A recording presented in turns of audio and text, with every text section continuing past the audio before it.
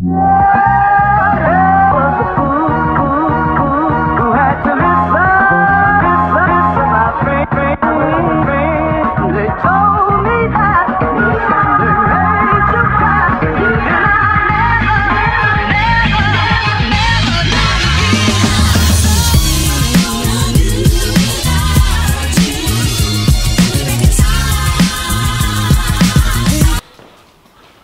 Good morning, YouTubers. How are we today? So, Monday morning, I'm in here, bright and early. Already been here a couple of hours. Um, basically, crunching some numbers. So, last week on the Professional Brewers Group, I found somebody advertising five 600 litre conical tanks for sale. Now, these uh, tanks single skin, cooling jackets to the cone and to the back with a lid and a 2 inch RJT outlet at the bottom. Ping, £550 each. So I thought to myself, well, if I'm going to build these tanks then we're kind of looking at 250, 300 quid for the stainless anyway. And then each tank is going to take me two or three weeks to build, as we know. So think of the labour saving that would be involved in buying five tanks ready made. You know, it's a lot of time saved. So I thought we're going to see if we can get these tanks. It's going to cost me £2,750. So what we've done is we've raided every single bank account. I've raided my personal bank account. So Stu, so's Gem. We've literally taken the cash from the cash box every penny we can lay our fingers off. Tried to put bills off until next week, phoned people to try and rearrange things to try and get our hands on this cash.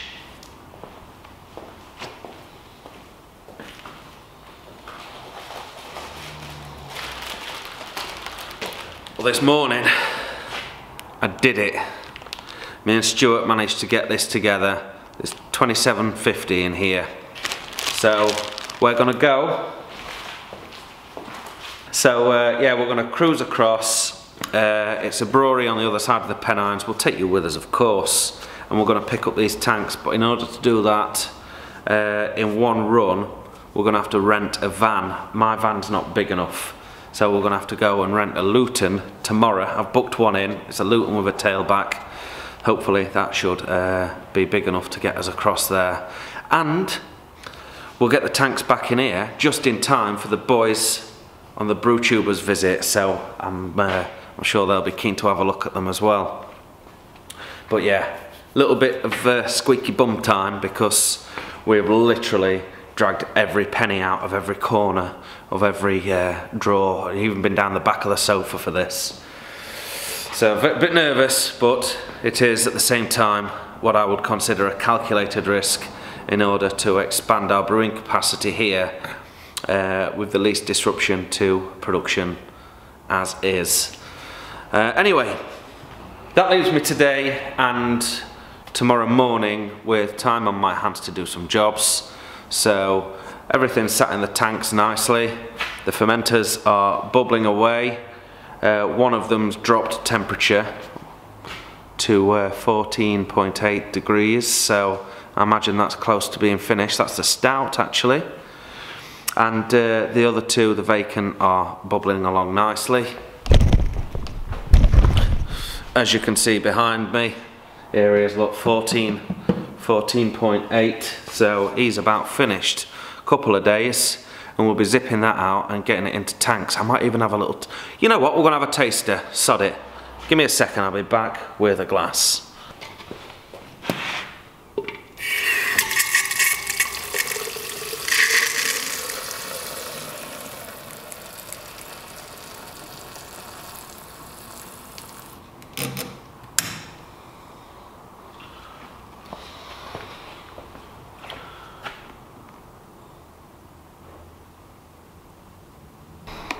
Right then, so here we are.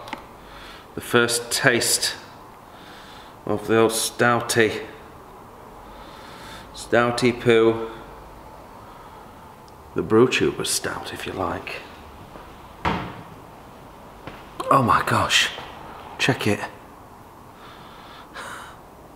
It's doing exactly what a stout should do. Would you not agree? Nice tan head. Roasty, chocolatey, coffee-like aroma. Really thick head, that is, uh, that's like a cappuccino.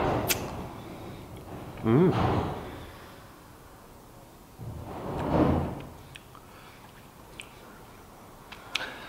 Slightly green, oh, but it's just about finished.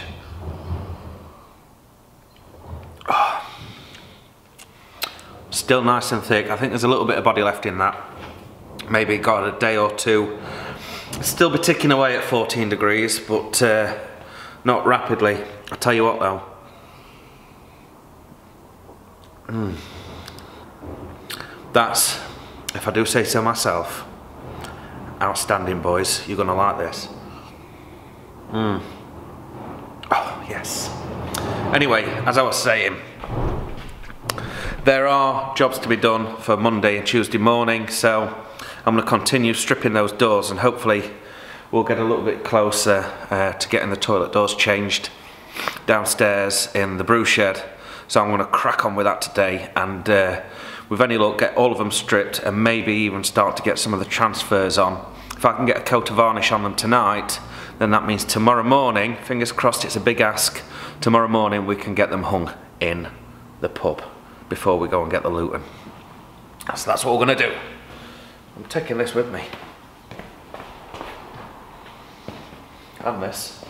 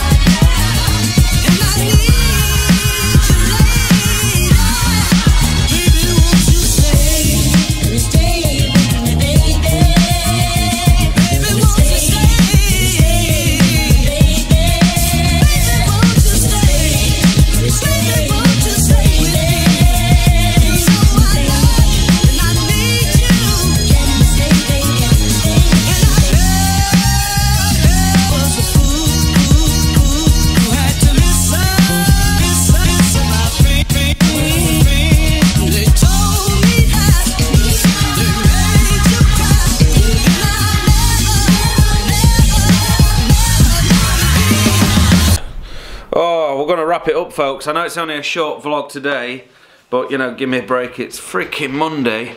It's freaking freezing, and it's actually 8 o'clock. It's 5 past 8, so I've got to go home. But I've been running up and downstairs like a madman to get this frigging door finished. So I've got one of the toilet doors finished. It's the gents. It looks awesome. Uh, no varnish or anything on it, just the prints. You might be able to get a peek over my shoulder there. So I'll just unhook the camera. I'll give you a proper look at it. See how many you can recognise.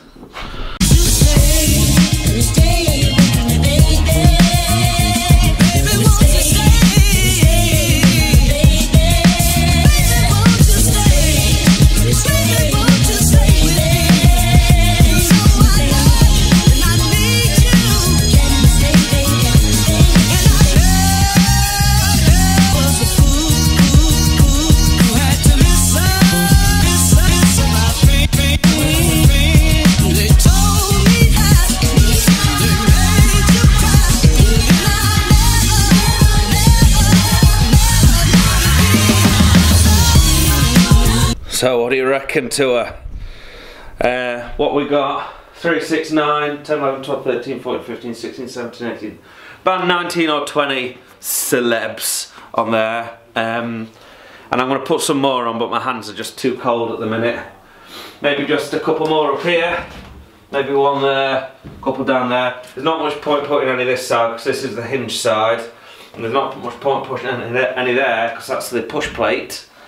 Um, just we've got room for about six or seven more little ones. On this edge I've got to put little ones you see. But I think it's a pretty awesome looking door. Anyway, I'm freezing cold. I'm going to wrap up folks and we'll see you on tomorrow's vlog where we pick up the van to go to uh, pick up some tanks. Freaking rights we do. We'll see you then.